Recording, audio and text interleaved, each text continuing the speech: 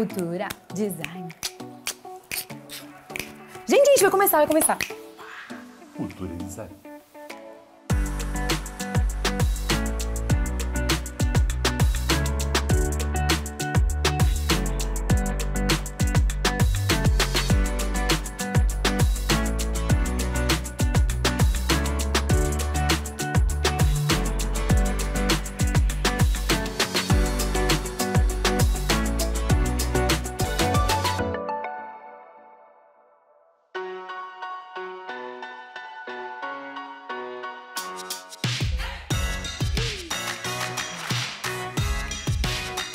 No Portas Abertas de hoje, Edifício Martinelli.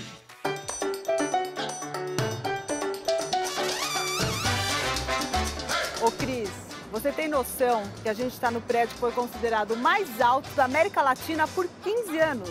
Pois é, Karina, hoje a gente está no topo do edifício Martinelli. Um prédio inteiro cor-de-rosa, fundado em 1929 e que nasceu a partir de um sonho.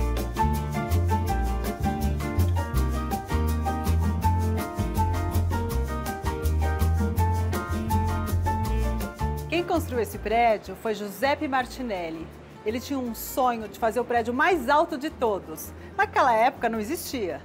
E para provar que aqui era seguro, resolveu construir a casa dele. Todo mundo achava que esse prédio ia despencar. Por isso, ele resolveu caprichar na ostentação e fez logo uma casa de 800 metros quadrados, cercada de 1.200 metros de varanda, apenas. Lá do topo da casa, dá para ter uma vista 360 graus de São Paulo.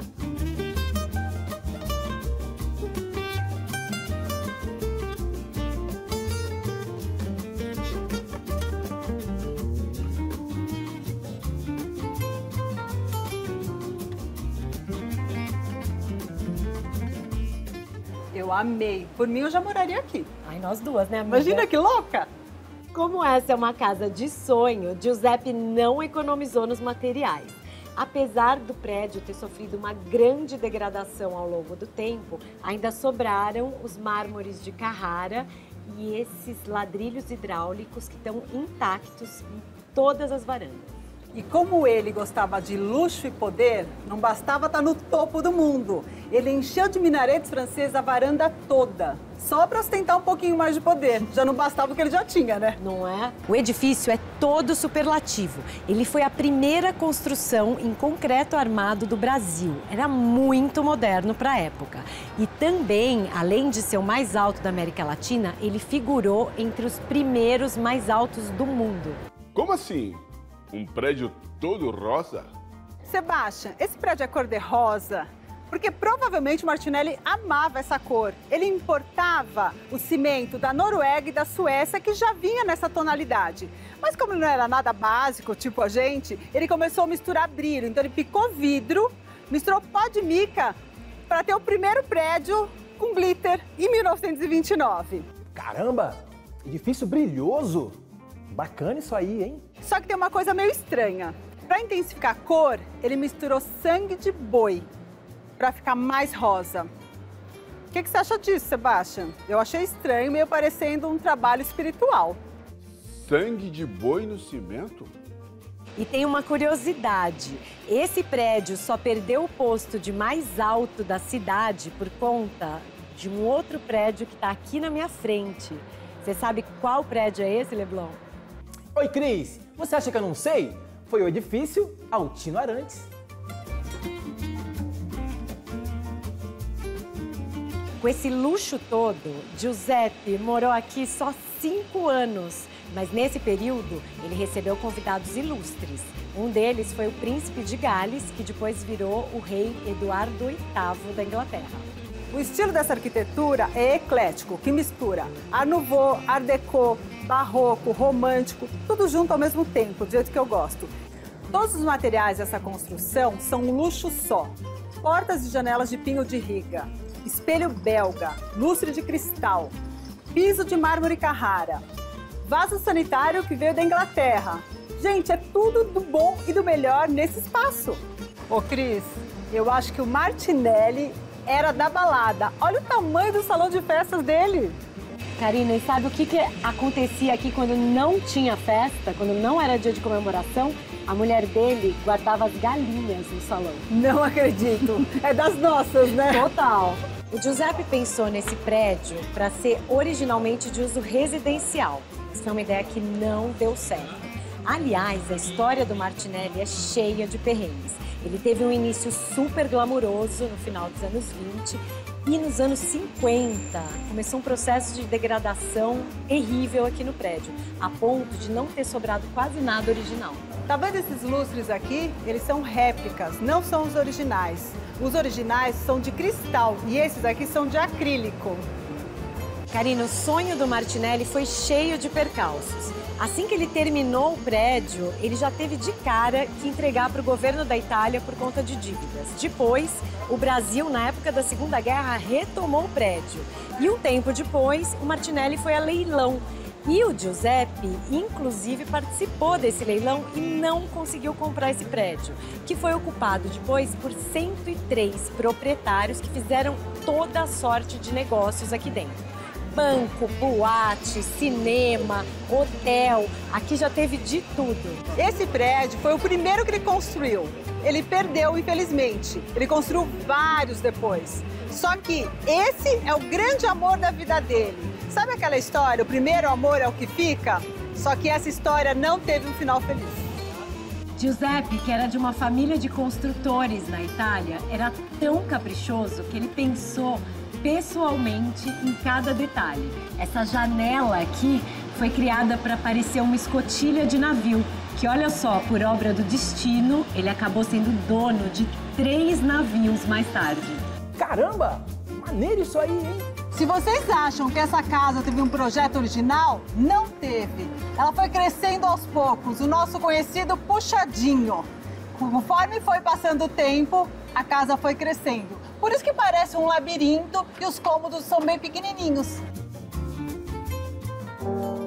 Nesse ano de 2020, nós tivemos muitas transformações internas e externas. E é por isso que a Cerâmica Atlas convidou grandes arquitetos e paisagistas brasileiros para falar sobre as tendências do, do novo morar. A casa pós-pandemia, ela vai ter um, um, um aspecto muito importante nas nossas vidas. Eu acho que agora com essa todo mundo se voltou para dentro da casa, ela se tornou o nosso o nosso porto seguro, né? Hoje eu acho que a gente só se sente seguro dentro da casa. A gente aprendeu que a casa realmente é o nosso porto seguro, né? A gente foi obrigado a aprender isso e, e todas as pesquisas de tendência que apontavam desde 2015 a casa como refúgio, é, por incrível que pareça, isso foi realmente acontecendo, né? A casa virou um refúgio houve uma, uma grande aumento da preocupação do bem-estar das pessoas em suas casas, o que eu acho positivo, né? Um lado positivo de uma coisa terrível. E coisas como divisão espacial, home office, ter um espaço de escritório, ter equipamento para filmar e fazer live, né? Isso é uma super catalisada também. E isso deve ser incorporado nos próximos anos uh, pelo mercado da construção civil, né?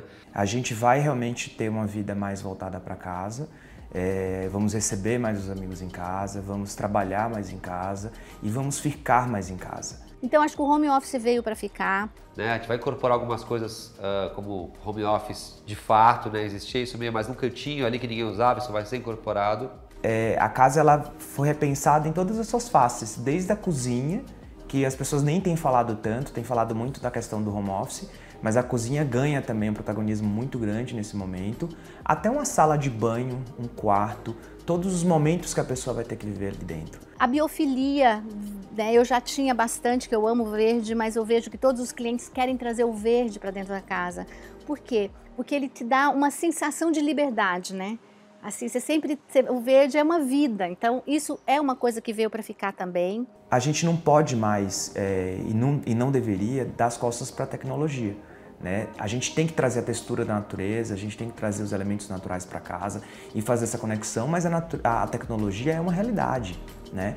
Então, o que tem que ser repensado agora é como a gente pode usar a tecnologia a favor dessa conexão com a natureza. É se conectar com todo mundo sem se desconectar com nós mesmos, com nossa base, com nossa essência. Uma busca que vai aliar sustentabilidade, ter jardins, ter tudo misturado com uma coisa de tecnologia mais escondida que dá suporte para um viver melhor. Eu moro num apartamento de 78 metros quadrados, num loft, e eu precisei, e quando eu resolvi para esse apartamento, a escolha foi: eu não preciso de um apartamento grande, porque eu passo muito tempo no escritório e não preciso, moro sozinho, não preciso mais né, de espaço. E acredito que, assim como eu, muita gente aqui em São Paulo acabou fazendo essa escolha. Só que ficou pequeno na pandemia. Olha, eu moro num loft, assim, um, um apartamento antigo da década de 40, que é todo, todo, todas as paredes abertas, exceto a do quarto, né? Uh, então, o que mudou foi que eu quero, quis uma janela acústica. uh, hoje eu acho que a gente mudou bastante nesses seis meses. Por exemplo, eu aprendi a cozinhar, coisa que eu não sabia. Não muito, né? Mas assim, já tô me virando na cozinha, virou, acho que vai virar um hobby isso. Eu precisei colocar um tapete de yoga na varanda. Eu fui reestudando como entender e como me readequar na casa. E eu percebo que agora o que eu mais preciso é de espaço. Trabalhar em casa, né? O home office, que era uma coisa que para mim era impossível. Hoje eu tô achando que é muito viável e tô gostando disso. Eu tenho agora equipamentos de filmagem, câmeras especiais, luzes e tal para fazer reunião virtual, coisas que eu nunca tive antes. O convívio com a minha filha, eu tenho uma filha adolescente de 14 anos que desde sempre eu via só final de semana e agora eu almoço e janto com ela todo dia. Isso é um presente, né? Então esse convívio familiar é uma coisa que acho que todos nós ganhamos muito. E eu acho que os próximos anos apontam para sermos cada vez mais seletivos com o que vamos fazer fora de casa. A casa é um ninho, né? A casa não vai, não vai mudar, ela é nosso porto seguro. E eu acho que ela vai sempre continuar sendo independente. De, agora ela está muito mais voltada para isso, porque tá, a gente está muito em casa, mas quando a gente voltar para a vida do novo normal, né? Eu acho que a casa vai continuar sempre sendo o nosso ninho.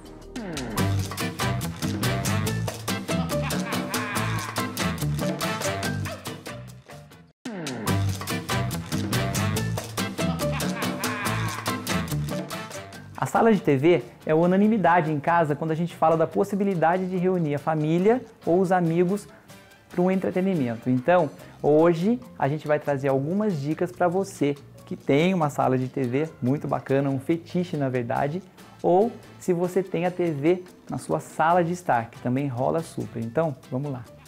E a primeira dica que eu deixo com vocês é do sofá, que talvez seja a peça mais importante da sala da TV sem considerar os equipamentos eletrônicos. Vamos lá. Esse modelo específico, ele é para área externa. Ele é mais resistente por conta da densidade da espuma e do tecido, que é bem específico, mas outros sofás também são sempre bem-vindos. Eu indico os retráteis, que aí você tem aquela sensação de conforto, né, com aquela chaise longue que a gente fala, que é aquela possibilidade de você alongar o sofá, como esse aqui que eu estou sentado agora. Se você já tem um sofá ou está pensando em comprar um outro sofá para sua sala de TV, considere sempre o tecido. Tem que ser um tecido resistente, eu indico muito a lona, porque daí você pode colocar o pé, você pode lavar com facilidade, é uma área de conforto. Então, para você não limitar os seus convidados, não erra no tecido.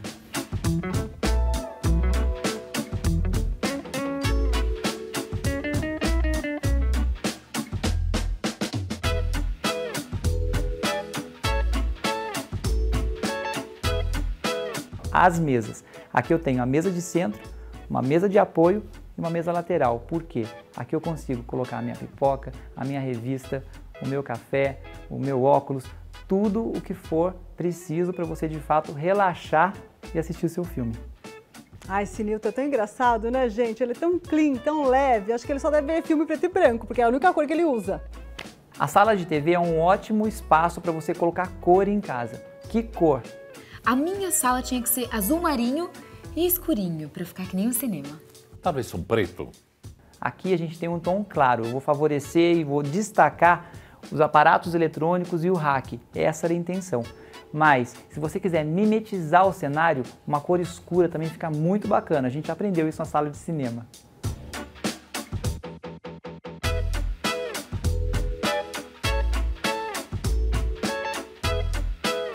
Sala de TV é o espaço mais usado da casa, é onde todo mundo se encontra, a família, os amigos, e não necessariamente só para ver TV. Você joga videogame, você vê série, você joga um baralho. O que importa é ter um sofá muito confortável e as peças que se mexem aqui dentro. Então a gente tem puff, que pode ser mais um lugar, você pode apoiar o pé. Tem esse puff de madeira que serve de apoio de mesa, serve para jogar. Então a gente pode movimentar todas as peças.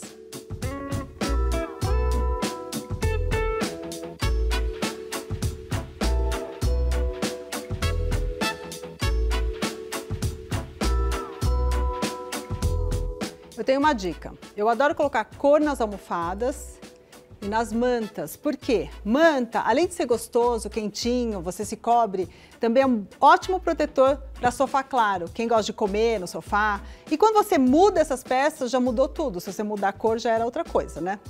O que eu gosto bastante é quando eu tenho um tapete maior, em cor neutra, sobrepor um menor com uma textura. Aqui eu não quis colocar muita cor para não ficar brigando com a minha almofada, manta, com essa obra aqui atrás. Eu coloquei no mesmo tom, porém com uma trama diferente. Outra coisa que eu adoro ter na sala de TV, uma cesta. Você pode colocar baralho, controle remoto, é, manta, almofadinha, o que você quiser. Cesta é ótimo, dá aquela sensação que está tudo organizado e na verdade está tudo lá dentro bagunçado.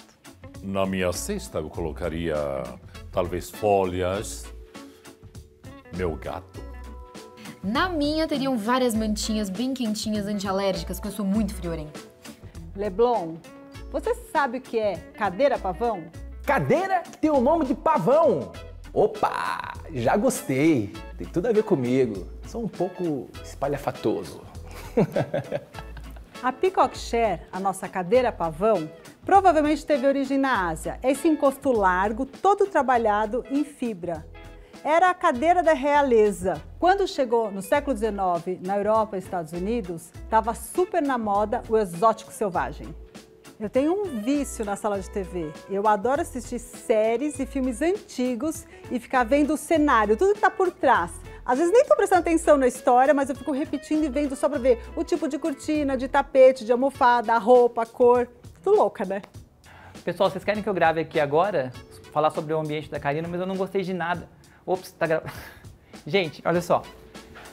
Karina do arrasou. Gostei das cores, gostei do material, adoro fibra natural, gosto das cores, gosto de tudo, gosto do pato. Incrível. Para que cínico! Cínico! Ao contrário do que muita gente pensa, eu detesto série, gente, confesso. Não tenho paciência, não tenho. As pessoas se surpreendem com isso. Agora, tem alguns filmes que eu vejo 1.300 vezes. Quem me conhece sabe, Pontos de Madison tá no topo e ó, não sai.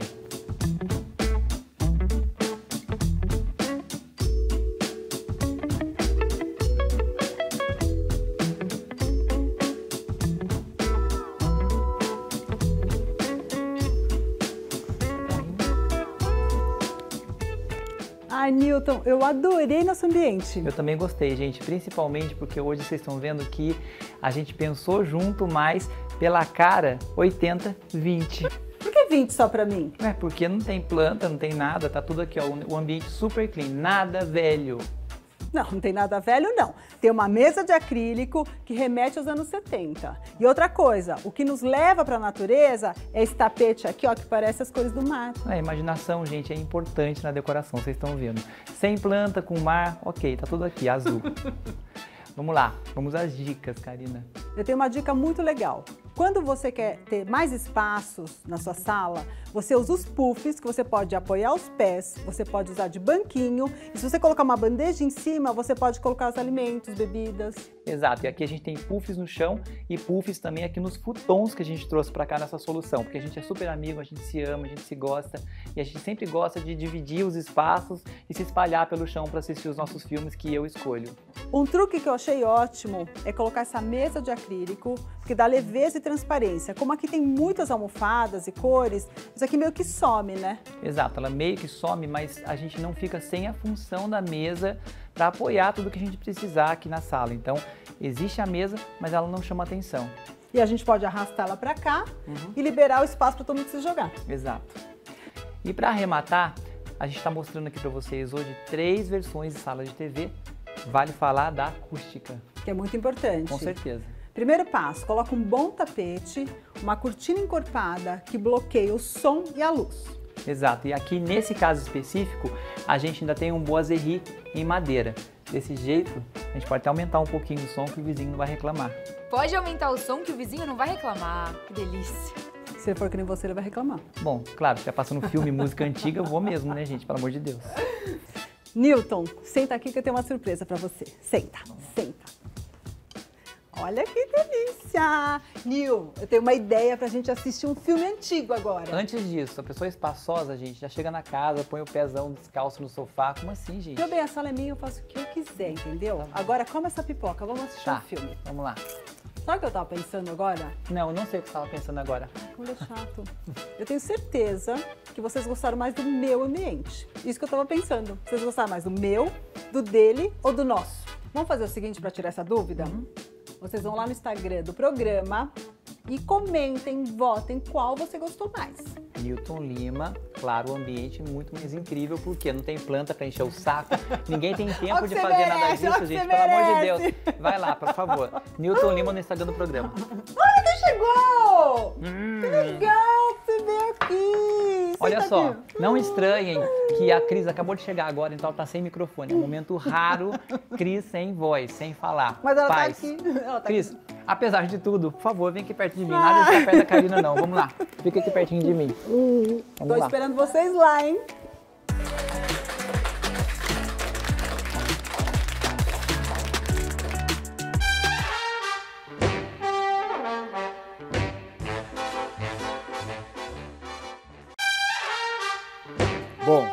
Prato que a gente vai fazer hoje é um prato dos nossos amigos aqui, vizinhos da América Latina, que são os peruanos. O prato de hoje é o ceviche.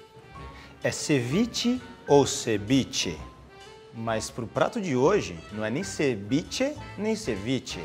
É tartar. Entendeu, Mário? Tartar. O que é tartar? Tartar é a mistura de ingredientes crus, ali muito bem temperados, misturados, né? Porque ceviche é clássico. Então, o ceviche é um prato tipicamente peruano e já existem relatos de que o ceviche foi produzido já, é produzido não, é consumido há mais de dois mil anos antes de Cristo. É, o que a gente vai fazer hoje é muito contemporâneo. O ceviche ficou lá atrás. Ceviche, ceviche tem que ter peixe cru com ácido. Beleza, isso vai ter. Mas cadê o choclo, o milho peruano? Cadê o arri? Onde estás? El arri, tio. Onde estás, el arri? Fala que só um ceviche para um peruano que você vai ver o bicho pegar, rapaz. Aí, tá vendo? Ele já falou que é um tartar de peixe. Mas, meu, vai cozinhar o peixe e vai estar tá lá cru. Vai colocar um ácido no meio. Ué, não pode ser ceviche também? Como eu disse, várias culturas também fazem a mesma coisa e dão nome diferente para as coisas.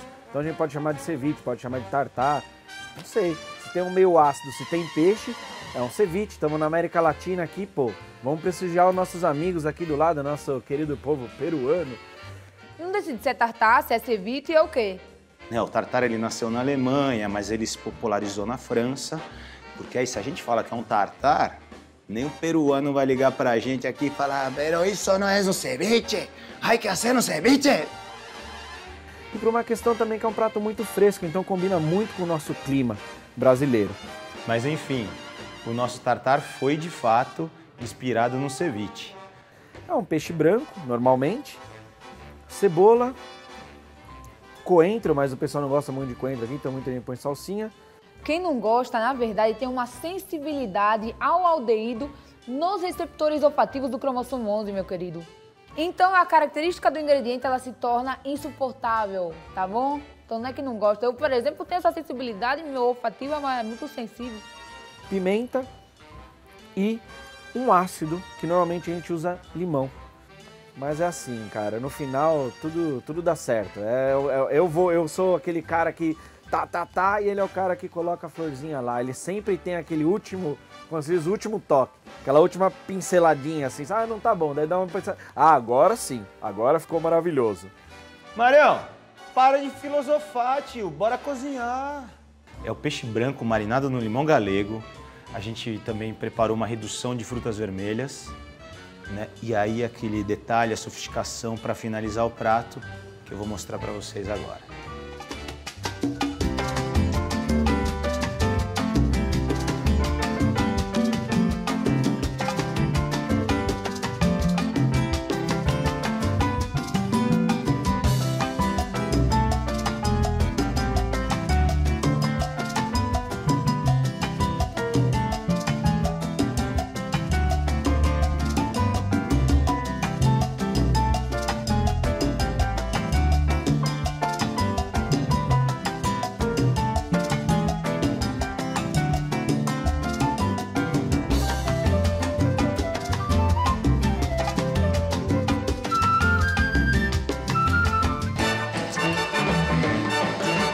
Vale.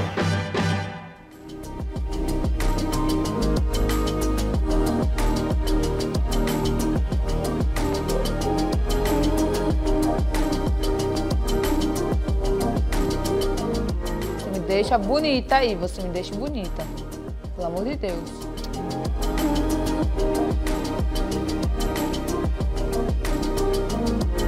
Cultura e design. Cultura e design.